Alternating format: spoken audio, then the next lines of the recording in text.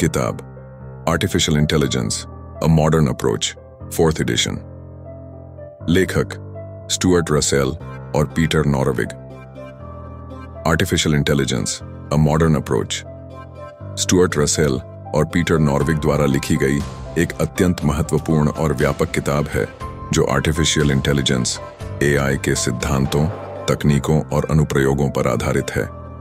यह किताब एआई के क्षेत्र में एक प्रमुख टेक्स्ट बुक मानी जाती है और इसके चौथे संस्करण में नवीनतम शोध, विकास और तकनीकी प्रगति को शामिल किया गया है। इस पुस्तक में एआई के विभिन्न आयामों, जैसे मशीन लर्निंग डीप लर्निंग नैतिकता और तर्क शक्ति पर गहराई से चर्चा की गई है। एक, कृत्रिम बुद्धिमत्ता का परिचय इंट्रोडक्शन टू आर्टिफिशियल इंटेलिजेंस किताब की शुरुआत में एआई की मूलभूत परिभाषा दी गई है और इसके ऐतिहासिक विकास का वर्णन किया गया है। एआई का उद्देश्य ऐसी मशीनों का निर्माण करना है, जो मानव की तरह सोच सकें, सीख सकें और निर्णय ले सकें। उदाहरण, शतरंज खेलना, जहाँ कंप्यूटर एक मानवीय खिलाड़ी से मुकाबला करता है। एआई का एक प्रारंभिक उदाहरण है। आईबीएम के डीप ब्लू ने उन्नीस में विश्व शतरंज चैंपियन गैरी कास्पारोव को हराया। यह एआई की बड़ी उपलब्धि थी। तो search algorithm search algorithms AI में सर्च एल्गोरिदम का महत्व अत्यधिक है।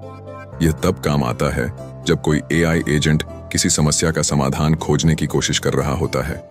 इसमें breadth first search depth first search और ए एल्गोरिदम जैसे तकनीकों पर चर्चा की गई है।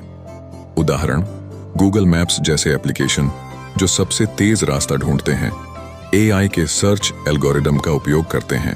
तीन machine learning machine learning AI का एक प्रमुख हिस्सा है, जिसमें मशीनें बिना किसी स्पष्ट प्रोग्रामिंग के डेटा के आधार पर सीखती हैं।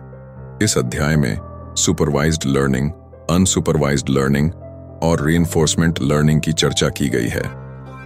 उदाहरण नेटफ्लिक्स या यूट्यूब जैसी स्ट्रीमिंग सेवाओं द्वारा दी गई अनुशंसाएँ रिकमेंडेशंस मशीन लर्निंग एल्गोरिदम पर आधारित होती हैं, जो उपयोगकर्ताओं के पिछले देखने के इतिहास से सीखती हैं। चार, तर्क और ज्ञान अभिव्यक्ति logic and knowledge representation AI में ज्ञान को संरचित तरीके से प्रस्तुत करना और उस पर तर्क करना बहुत महत्वपूर्ण है। यह हिस्सा एआई सिस्टम्स में लॉजिक प्रेडिकेट लॉजिक और प्रोबेबिलिस्टिक लॉजिक की भूमिका पर चर्चा करता है। उदाहरण मेडिकल डायग्नोसिस में एआई का उपयोग, जहाँ एआई प्रणाली डॉक्टरों द्वारा दिए गए लक्षणों के आधार पर बीमारियों की पहचान कर सकती है। यह तर्क और ज्ञान अभिव्यक्ति की तकनीकों का उपयोग करता है। पाँच natural language processing NLP NLP AI का वह हिस्सा है, जो कंप्यूटरों को मानव भाषा को समझने और प्रसंस्करण करने में सक्षम बनाता है। इसमें वाक्य रचना सिंटैक्स शब्दार्थ सिमेंटिक्स और भाषाई संरचना की व्याख्या की गई है। उदाहरण इलेक्सा और सिरी जैसे वर्चुअल असिस्टेंट एनएलपी का उपयोग करते हैं ताकि वे उपयोगकर्ताओं की आवाज़ को समझ सकें और उसे सही ढंग से संसाधित कर सकें।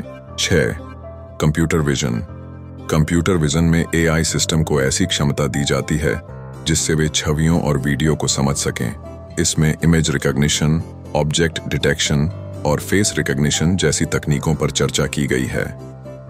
उदाहरण फेसबुक और गूगल फ़ोटोज़ में फेस रिकॉग्निशन तकनीक का उपयोग एआई द्वारा किया जाता है, जो तस्वीरों में लोगों की पहचान करता है। साथ robotics and intelligent agents AI का एक बड़ा हिस्सा रोबोटिक्स में है, जहाँ बुद्धिमान एजेंट्स इंटेलिजेंट एजेंट्स का निर्माण किया जाता है। जो अपने वातावरण से बातचीत कर सकते हैं और स्वायत्त रूप से निर्णय ले सकते हैं। उदाहरण, स्वचालित वैक्यूम क्लीनर रूम्बा एक बुद्धिमान एजेंट का उदाहरण है, जो कमरे में घूमकर सफ़ाई करता है और बाधाओं से बचता है। नौ deep learning deep learning deep learning AI का एक उन्नत क्षेत्र है, जिसमें न्यूरल नेटवर्क्स का उपयोग करके जटिल समस्याओं को हल किया जाता है। यह अध्याय deep neural networks convolutional neural networks CNNs और रिकरेंट न्यूरल नेटवर्क्स आरएनएन्स पर चर्चा करता है।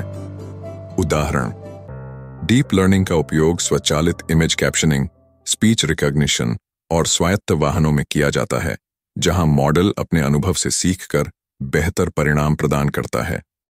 दस artificial general intelligence AGI AGI वह अवधारणा है जिसमें एआई को इतनी क्षमता दी जाती है कि वह किसी भी प्रकार की बौद्धिक कार्य क्षमता को कर सके।